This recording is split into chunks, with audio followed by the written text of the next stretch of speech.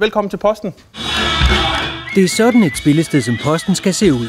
Fyldt med mennesker, der har en fest. Men sådan har der ikke set ud længe. Vi har den lille scene heroppe bagved, hvor det er rigtig længe siden, den har været i brug. Det er tæt på hvert år siden, faktisk. Nicky Refstrup Blatt er booker for Posten og Dexter.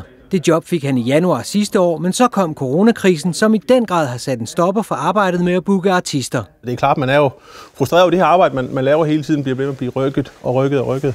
Vi har jo sige, koncerter, som er blevet rykket 4-5 gange efterhånden. Ikke? Det frustrerer Nicky Refstrup Blatt og de andre ansatte, der har omdannet et lille hjørne af spillestedet, hvor man kan afreagere. Når vi er i hus om mandagen, jamen, så kan vi jo gå ned og, og, og hive lidt vægt, hvis frustrationerne bliver for meget. Nicky Refstrup Blatt er kun på posten en dag om ugen, og det meste af tiden på kontoret går med at rykke rundt på koncerter, der ikke kan afholdes på grund af nedlukningen. Alle de her flytninger det sætter et massivt pres på, øh, på vores program. Også vores efterårsprogram, som jo er, kan man sige, som mere eller mindre er, er booket et eller andet sted. Ikke? Og man kan sige, at nogle gange kan det bare ikke lade sig gøre, og så bliver det selvfølgelig selvfølgelig aflyst. Lige nu er stikket trukket på al live musik, og dermed Nikis primære funktion som booker.